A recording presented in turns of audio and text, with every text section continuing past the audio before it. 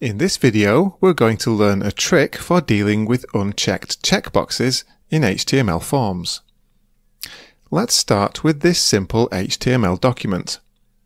After the head section and the header, we have a form that contains a single input.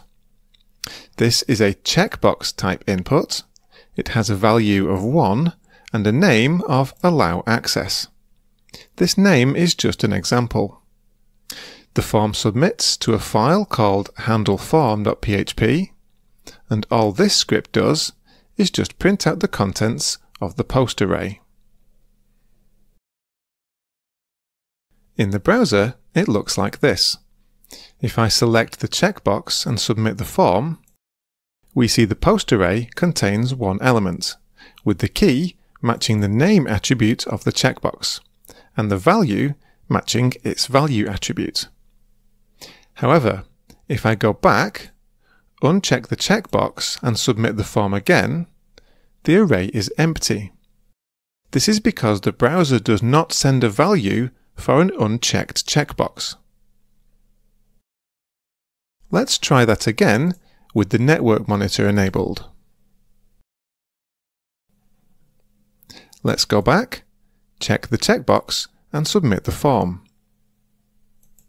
In the form data for the request, with the checkbox checked, we can see the form data contains a value for the checkbox. If we go back and submit the form without the checkbox being checked, we can see the request is empty. This can be a problem on the server if you want to access a form value directly in the post array. For example, let's print out a line break, then the value of the array element that corresponds to the checkbox.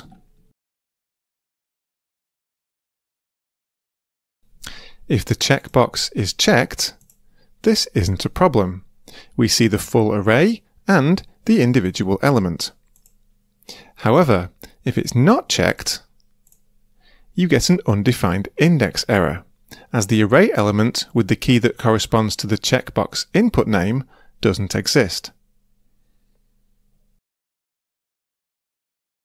To fix this, we can take advantage of the way PHP handles array elements that have the same key. Consider this code.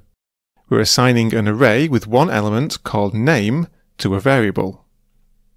When this code runs, the variable will contain this array. However, if we add another element to this array, and it has the same key, the value assigned to the variable will only contain the second value in the array. This is because arrays in PHP can't have two elements with the same key. If you assign more than one value to the same key like this, only the last value will be used. So how can we take advantage of this for the checkbox problem. The solution is to put a hidden field before the checkbox field with the same name as the checkbox and the value you want to submit if the checkbox isn't checked. Note this trick only works with form fields that aren't arrays, in other words the name isn't followed by empty square brackets. So if we submit the form with the checkbox checked, the array contains just one value, and we can access it directly.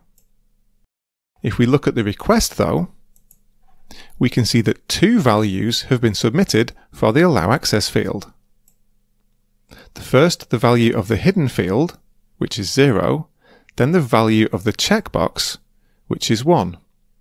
When PHP puts these values in the post array though, only the second one is saved. However, now if we go back and submit the form with the checkbox unchecked, we no longer get the error as the array contains the value from the hidden field, so we can access it in the post array directly. So anytime you want to have a value in the form data on the server for an unchecked checkbox, put a hidden field before the checkbox with the same name. The value of this hidden field is what will be available on the server if the form is submitted with the checkbox unchecked.